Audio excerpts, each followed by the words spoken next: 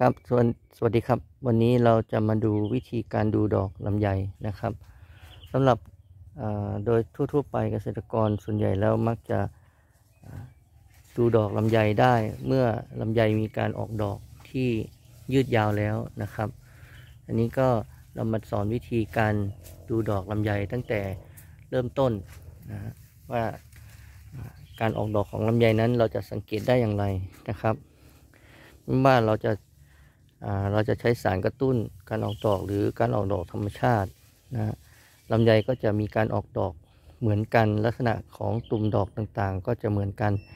แต่ลักษณะของสีดอกต่างๆนะครับ แล้วแต่พันธุ์นะแต่ละพันธุ์ลักษณะของสีดอกหรือตุ่มดอกจะไม่เหมือนกันนะครับ อย่างเช่นพันธุ์แห้วนะครับ ตุ่มดอกก็จะออกมาเป็นสีแดงนะครับ ถ้าเป็นพันธุ์อีดอ พันธุ์สีชมพูตุ่มดอกออกจะมาเป็นสีขาวนะครับ นี่เราจะเห็นว่าตุ่มดอกที่เราเห็นนะครับที่เราเห็นนะฮะนี่จะเป็นสีขาวนะครับนะเป็นจุดไข่ปลานะครับ เป็นจุดไข่ปลานะครับดูใกล้ๆนะครับนะเป็นลักษณะนี้นะครับ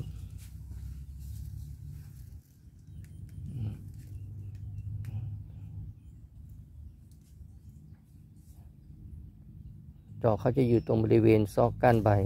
นะครับ เป็นเม็ดขาวๆนะครับ เป็นเม็ดสีขาวๆนะครับ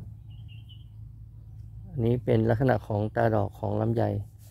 พันอีดอ์นะครับ มาดูกันชัดๆอีกทีหนึ่งนะครับ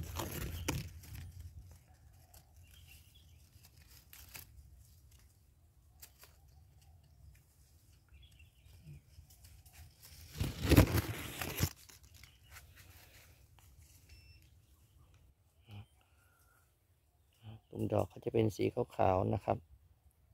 ถ้าเป็นลักษณะนี้เนี่ยลำไยมีการออกดอกแล้วนะครับ หลังจากที่เราเห็นตุ่มดอกขาวๆนะอยู่ตรงบริเวณซอกของก้านใบเนี่ยเล็กๆ ตรงบริเวณปลายยอดเนี่ยเราต้องมีการดูแลรักษาอย่างเช่นการฉีดพ่นสารกำจัดศัตรูพืช อย่างเช่นหนอนนะครับ ตรงนี้จะมีหนอนมาทำลายนะฮะ กัดกินช่อดอก แล้วก็ถ้าช่วงที่มีหมอกลงจัดนะครับ หรืออากาศเปลี่ยนแปลงนะช่วงนี้ก็จะมีเชื้อรานะครับ พวกอ่าราแป้ง แล้วก็ราน้ำค้างเข้าทำลายนะครับ นี่เราจะต้องดูแลรักษานะในระยะนี้ในการให้น้ำเป็นสิ่งสำคัญนะครับ คนที่จะรักษาความชื้นเอาไว้อยู่ตลอดเวลา ถ้าเราปล่อยให้แห้งช่อดอก พวกนี้เขาจะหยุดโตหรือความสมบูรณ์จะลดลง เป็นผลให้การติดผลในระยะต่อไปไม่สมบูรณ์นะครับนนี้ก็เป็นความรู้เล็กๆน้อยๆสำหรับการสังเกตตาดอกในช่วงที่เขาออกดอกไม่ว่าจะใช้สารโพแทสเซียมคลอเรตกระตุ้นการออกดอกหรือการออกดอกธรรมชาตินะครับ